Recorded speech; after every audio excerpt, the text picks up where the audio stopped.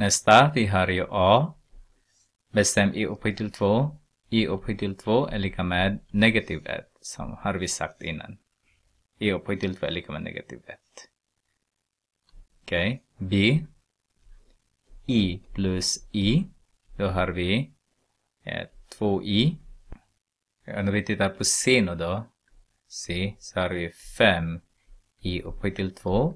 Så 5 i upphöjt till 2 är ju negativ 1. Så har vi negativ 5.